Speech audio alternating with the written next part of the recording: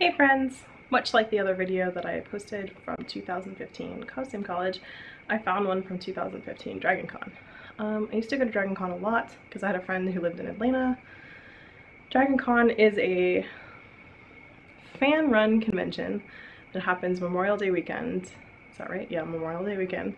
Um, every year in Atlanta and they take over basically five hotels and they have panels and they have um, like dances I guess. They like have themed dances so you can go like to the Yule Ball or the Avengers Ball or whatever stuff like that. And there's like a lot of them every night. Steampunk ball the whole nine.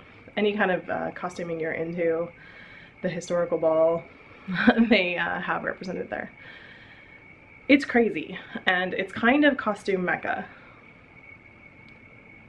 More than costume college which sounds crazy but it's true there are, I would say, 50 to 60,000 people who attend that, and the whole thing in the evening is just a party of people milling about in really awesome costumes. Like I have seen some things that I, I can't even believe.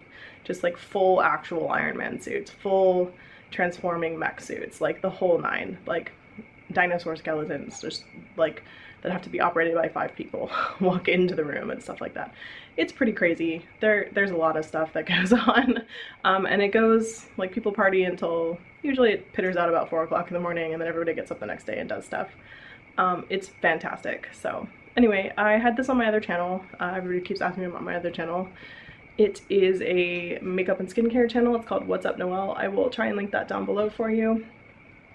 Um, not that interesting because I'm spending all my time over here enjoying this platform. Anyway, um, a costume video is not really something that belongs over my makeup channel, so I'm moving them over here and I only put up a couple of vlogs on that channel having to deal with costuming stuff, so I thought I would move it over here. Anyway, if you're interested, this is Dragon Con and what Dragon Con's like. Highly recommend Dragon Con, although it is hot and humid.